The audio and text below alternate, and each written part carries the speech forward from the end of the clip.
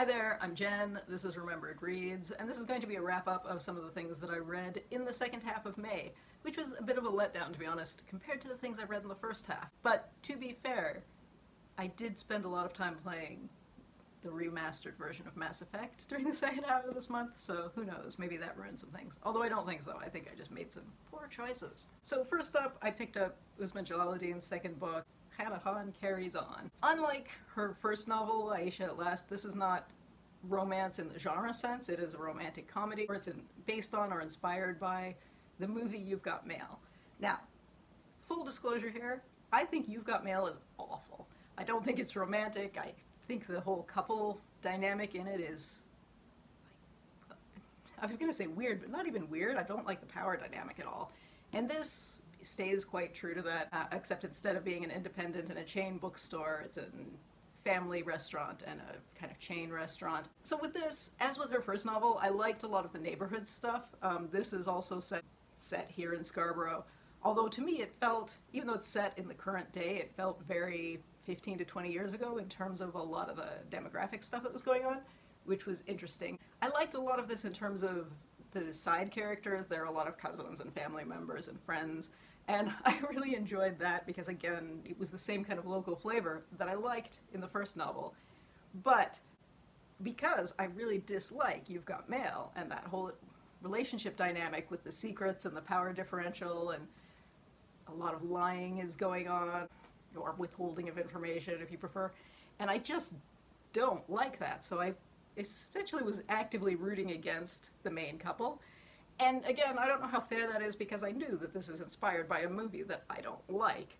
So um, I left that unrated on Goodreads, so if we're connected on Goodreads, you may have seen me say I'm not rating that because I went in knowing it's based on something I don't like. So yeah, I liked the peripheral stuff, but I just loathed the main relationship.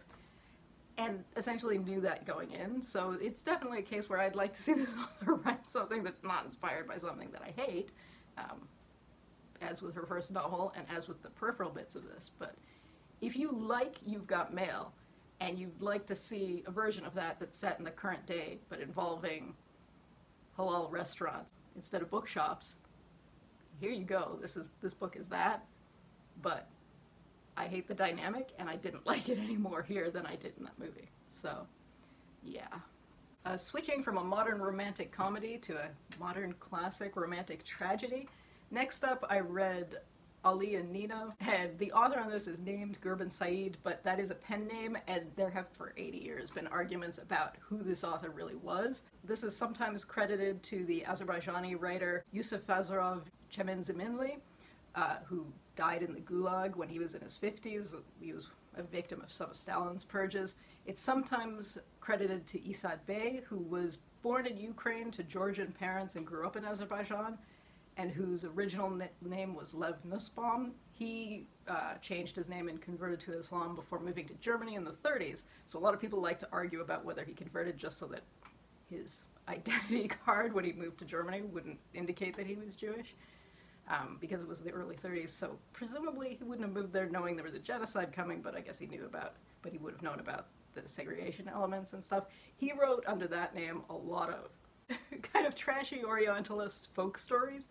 And what's interesting is this kind of takes bits and pieces of both of theirs, but the name, but the pen name is actually copyrighted to this Austrian baroness. And so what actually probably happened with this, if you dig through all the arguments, is that there was an original story by Çəmənzəminli that was essentially translated into German and kind of folklored up by Essad Bey, who then published it because he had been sort of outed as having originally been Jewish in Germany, so he was uh, in hiding in Italy, but he still wanted to make money, so he published this under this other name that the Austrian Baroness published. It is a wild story that is frankly more interesting than the book itself is. This book is, as I said, a romantic tragedy. It's set during the First World War and then during the very brief period that Azerbaijan was independent in the early 20s, so the Russian Empire had fallen, there was the Bolshevik Re Revolution, and before Azerbaijan became part of the Soviet Union, there was this brief period in there where this couple, who's an Azerbaijani guy and a Georgian girl get together and they live in various places that are now Russia, that are now Iran, that are now Georgia and Azerbaijan, obviously. I picked this up mostly because I had just seen the film version that came out about five years ago. This is also weirdly dated. It feels like kind of a knockoff of a David Lean movie. Like you could watch you could watch this back to back with the version of Dr. Zhivago from the 60s, the, the David Lean one with Omar Sharif and Julie Christie, and it would feel of that era, which is weird because the movie's from, I think, 2015. So I was curious to see what this would be like.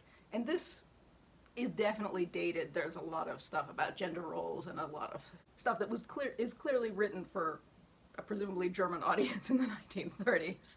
But it is still kind of an interesting time capsule.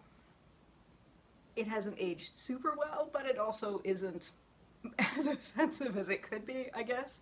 Yeah, so I don't know the story behind that novel is a lot more interesting than the novel itself, as I said.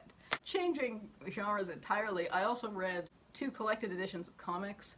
Uh, the first of which was Commanders in Crisis, which is written by Steve Orlando and drawn by David Tinto. This is a book where I enjoyed the art style far more than I enjoyed the writing. It is not a terrible idea, but it, it feels like something that somebody should have invented 20 years ago. It doesn't feel, I don't know, it doesn't feel timely at all, and this just came out this past year. It's set. It's basically a superhero story set in a multiverse in which they're in the last universe existing. The group of heroes, the commanders in this group, are all U.S. presidents from different universes who were all the first, like the first gay president and the first uh, black female president and whatnot. And it's it's cheesy. It's insufferably cheesy. And the as I said, the art is fine, but I just read it and went, what? This is dumb. like, this is not clever in the slightest. So the action scenes weren't bad, but the whole concept behind it just it was dumb. and that's not the best descriptor, but which I thought was weird because Steve Orlando is somebody who's writing on corporate books I quite enjoy. Like his Midnighter series and his Midnighter and Apollo series were great. Um, but this was not great. If this was a book that had this same concept 20 years ago, I would kind of say this is tacky but okay. But yeah, in the current day, I'm just like, why would you even come up with this concept? It's no. Uh, so that was disappointing. And because I'm apparently a glutton for punishment, I read another one of his creator-owned superhero books. And this one is called The Pull and was illustrated by Ricardo Lopez Ortiz. This book I liked the concept of more. It is a more straightforward science fiction book. The Earth is in environmental crisis.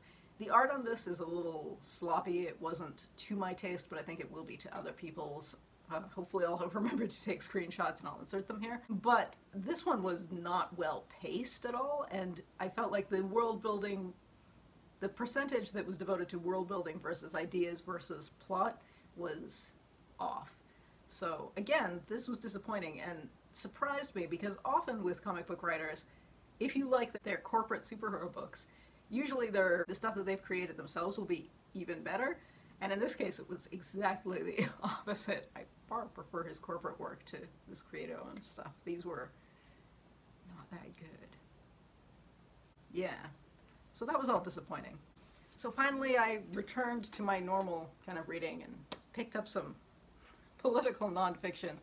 And uh, this is Chroniques, which is a collection of Kamel Daoud's uh, writing for an Algerian newspaper. He's a columnist. He also writes some novels.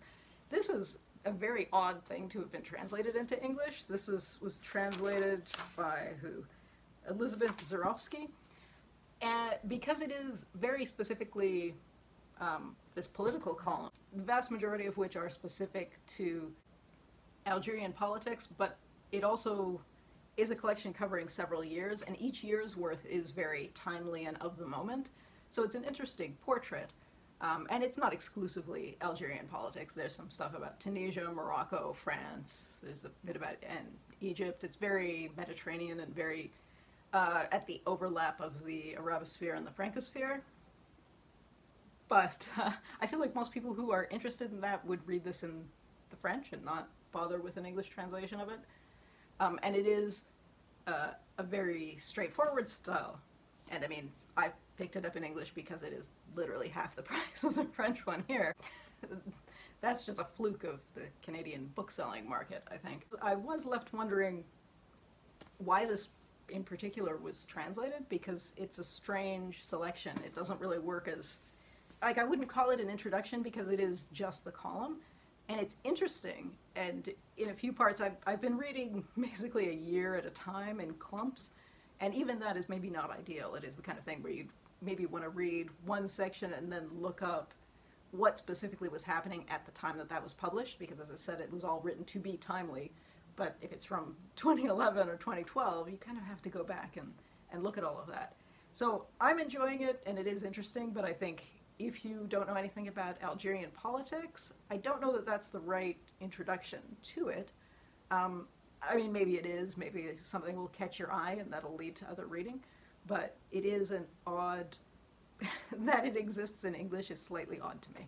But, I mean, maybe I'm wrong and there are a lot of people who are interested in Algerian politics who don't read French, but I, I, that would be surprising to me, but I don't know. In any case, if that is you, it's worth picking up. But uh, yeah, that's a target market where I'm thinking, is that a target market that really exists? I don't know. And again, it's hard to talk about without digging into the politics because it is about such a variety of things. And Daoud is interesting in that he's very critical of not just politicians at each of the extremes, but essentially across the political spectrum. So he will often be criticized from people from all different angles. And uh, you'll sometimes read criticism of his work that is essentially from people with completely opposing views who accuse him of being on that opposite side because he criticizes everyone, which again I think is not necessarily what everyone's going to be looking for, but I enjoy seeing someone who criticizes everyone, so uh, I'm on board for that. And I guess if you have read his novels and you're curious about that, um, yeah, it might be worth picking up. I think that's it. I feel like I might be forgetting something, but I have a couple of books that I'm partway through, but as I said, Mass Effect is eating all my free time, so uh, we'll see how that goes. In any case, if you read any of these, I'd love to hear what you thought about them. Um, if you have read any, um, I know Katie from Books and Things was running a readathon for books published between 1900 and 1950, which Ali and Nino fulfilled for me. Were you reading anything for that readathon? Was it weirdly dated? was it more interesting for the context than for the book like that was? I'd be curious to hear about that. Um, and also, if you have read comic book writers who you think are better on corporate books than they are on creator-owned ones, I'd be curious to know if you think that of Steve Orlando to start with, but if there are other authors that you feel the same about, the same way about too. Uh, yeah. Anyway, that's it for now. Ciao.